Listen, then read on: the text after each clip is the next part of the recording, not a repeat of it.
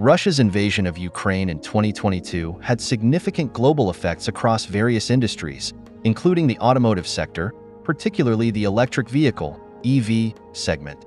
Although the war is not directly tied to the production of electric vehicles, its indirect impacts on the supply of raw materials, energy, semiconductors, and geopolitical shifts created considerable challenges for this growing industry.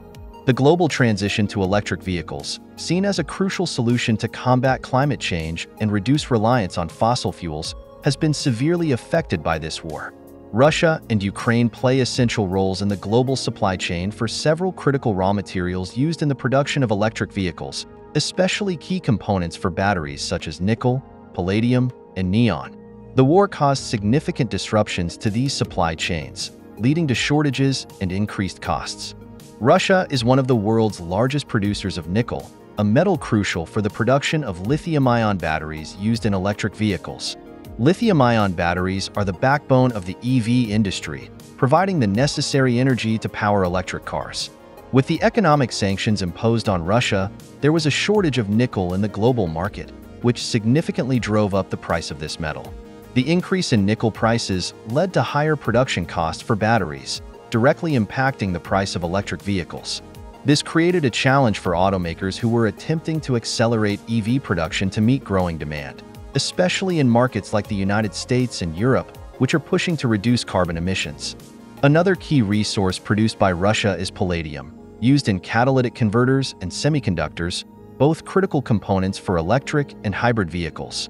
The shortage of palladium affected both the production of essential components for vehicle electrification and the supply of semiconductors, making EV production even more difficult.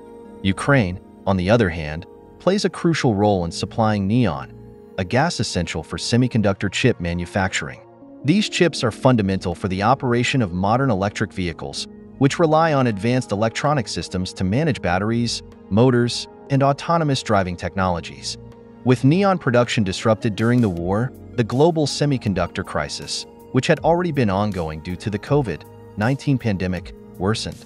The shortage of semiconductors limited the production of electric vehicles at several automakers, leading to delays in manufacturing and increased costs. Economic sanctions imposed on Russia over its invasion of Ukraine have forced many countries to rethink their supply chains for critical raw materials.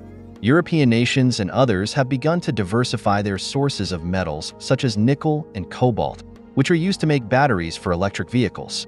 In addition, there has been an increase in investment in local mining and research into alternatives for critical materials, such as nickel-free batteries or more sustainable energy storage technologies.